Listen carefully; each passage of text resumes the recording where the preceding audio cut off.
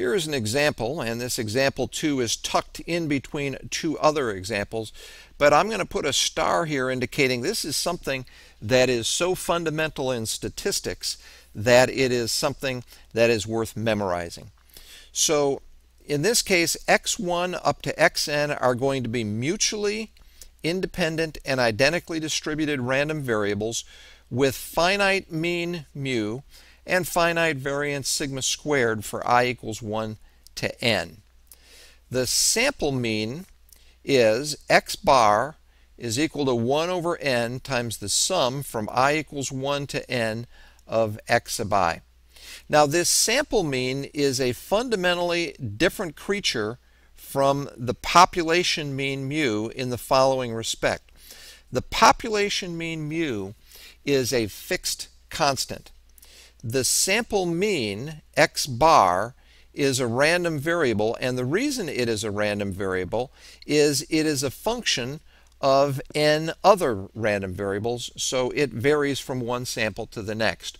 For example, if you calculate the average height, say, of n people that are in your probability class, and then you go to another section of that probability class and you calculate the average of their heights, you will probably wind up with two different x bars. They are random variables, so they differ from sample to sample.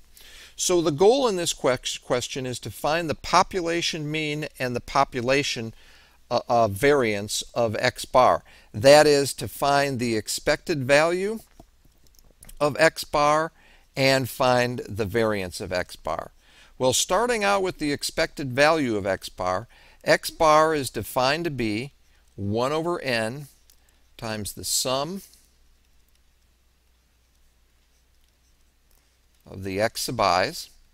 And this 1 over n is a constant. It is not a random variable. And you know that constants can come out front of the expected value operator. And now we're left with the expected value of a sum. Well, you know the expected value of a sum is the sum of the expected values all the time. Now, even though we have them mutually independent here, it would work even if they were dependent random variables. So this is 1 over n times the sum from i equals 1 to n of the expected value of x sub i. The expected value of x sub i is given right here. Each one of them has expected value mu. So this is like adding up mu n times, and that is n times mu, and the n's cancel and you get mu.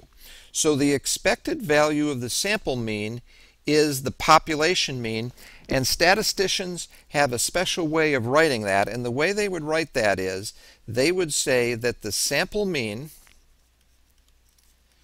which in this case is given by uppercase x bar, is an unbiased. And that is something that I'm not defining carefully here, but if you take a statistics class after this one, you will get the uh, definition of what is known as an unbiased estimator. It is an unbiased estimator of the population mean mu. And in some sense, being an unbiased estimator is to say that it is on target. Its expected value is mu. It is shooting at the appropriate target. So whenever you calculate a sample mean, it is a good estimator in terms of being on target of the population mean. Now the second part of this problem is to find the variance of x bar. So in this case, the variance of x bar and this derivation will kind of run in a very parallel fashion to what we did up here. This will be the variance of, and write the definition of the sample mean, that's the sum from i equals 1 to n of x sub i.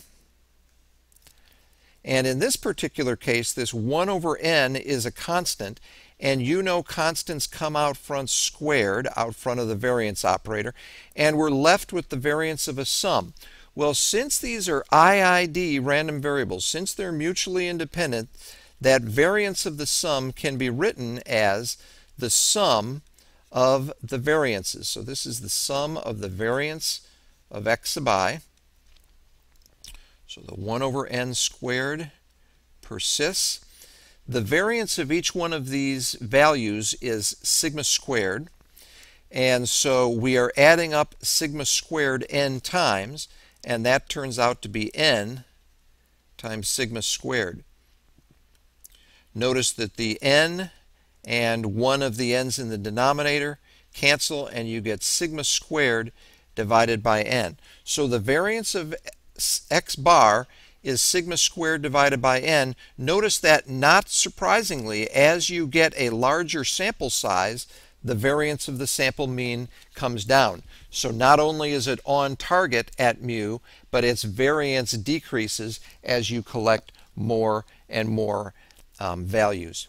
Statisticians would use the following words to describe this.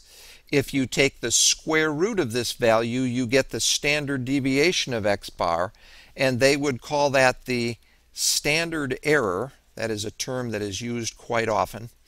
The standard error